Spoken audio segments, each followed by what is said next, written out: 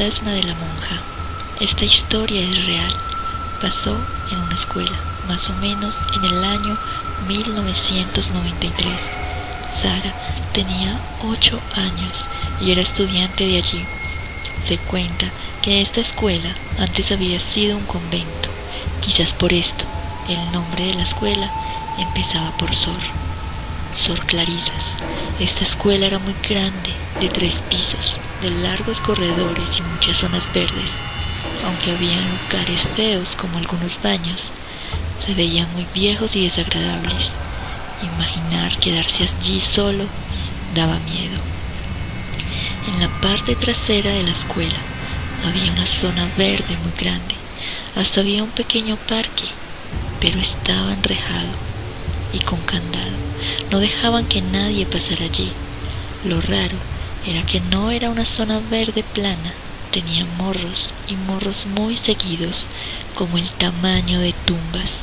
Se decía que era el cementerio de las monjas, y entre los niños mantenían sacando historias por molestar.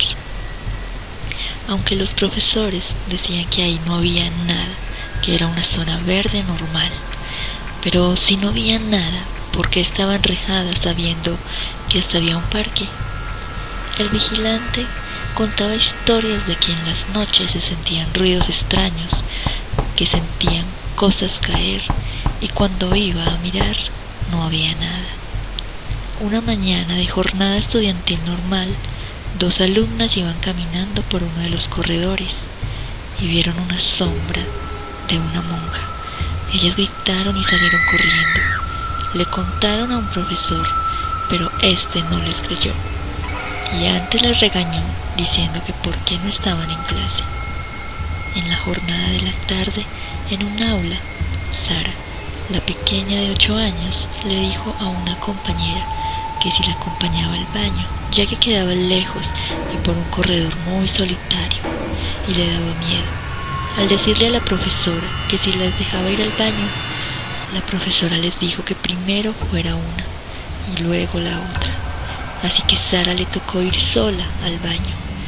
Cuando iba por el corredor, Sara sintió de repente mucho miedo y quiso devolverse, pues el baño era muy desagradable y estaba totalmente solo, o eso era lo que parecía, pero sacó fuerzas y entró.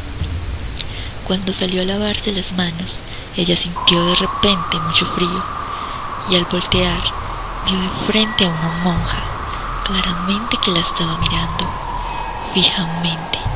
La niña aterrada no sabía qué hacer. La niña como pudo salió corriendo, pero no pudo ni gritar. Más adelante cuando estaba corriendo, le dio por mirar hacia atrás y pudo ver que la monja de lo lejos la seguía con la mirada.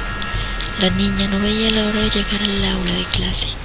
Cuando lo logró, se sentó muy agitada y la compañera le preguntó qué le pasaba, pero la niña ni pudo contestar.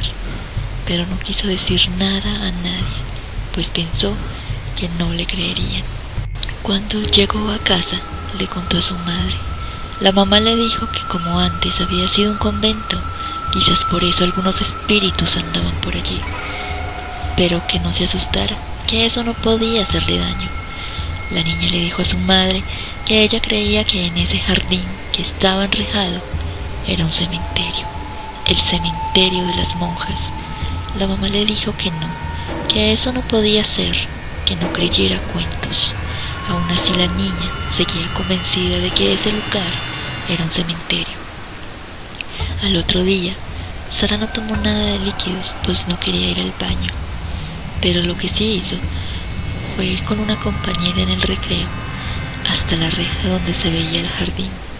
Sara le dijo a su compañera Valentina que estaba casi segura que ese lugar era un cementerio, que ella quería pasar unas horas en la noche allí a ver si algo extraño pasaba, pero que no quería estar sola, que si la acompañaba, y decir en casa que iban a estudiar donde otra compañera, que solo era una o dos horas.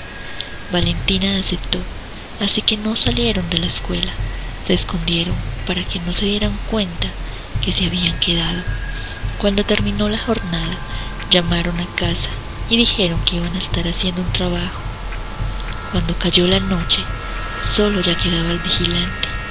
Eran las 7.30. Sara y Valentina, con un poco de miedo, miraban el lugar y todo aparentemente era normal. Sintieron caer unas llaves, pero se dieron cuenta que era el vigilante que estaba dando una ronda y se escondieron para que éste no las viera. Ellas, al ver que no pasaba nada, mejor se iban a ir. Cuando de repente detrás del seadero del pequeño parque vieron un bulto, un bulto negro que se levantaba lentamente. Ellas se quedaron paralizadas. No sabían para dónde coger y vieron que era una monja. Sara vio que era la misma monja que se le presentó en el baño y vieron cómo ésta traspasó la reja. Sara y Valentina no podían ni gritar, solo querían irse de ahí, pero ni se podían mover. La monja se acercaba más a ellas, pero pasó de largo. Y luego al finalizar el corredor, esta monja pegó un lamento desgarrador y las niñas al fin pudieron gritar y salir corriendo. El vigilante escuchó los gritos de las niñas y fue a mirar lo que pasaba. Las vio y les dijo que qué estaban haciendo allí, que cómo se quedaron sin que nadie se diera cuenta. Ellas solo le decían que la monja y lo llevaron hasta el corredor. La monja seguía con sus lamentos y éste pudo verla. No podía creerlo. Las niñas lo convencieron de que esos morritos tan seguidos allí eran tumbas de monjas. El vigilante llamó a las casas de las niñas para que fueran por ellas. Al otro día, el vigilante le contó al director y le dijo que hiciera algo al respecto. Luego de una investigación se dieron cuenta que allí habían restos humanos, posiblemente de las monjas que se aparecían. Meses después, este colegio fue renovado y lo que eran los morritos ahora era un gran parque y ya no estaba enrejado. Sara y Valentina jamás volvieron a ver nada extraño, pero se les quedó grabado el terrible lamento de la monja. Esta historia me la contó una persona muy cercana que aún siente miedo al acordarte de la mirada de esta monja. Bueno amigos, espero les haya gustado este relato y espero se suscriban. Gracias.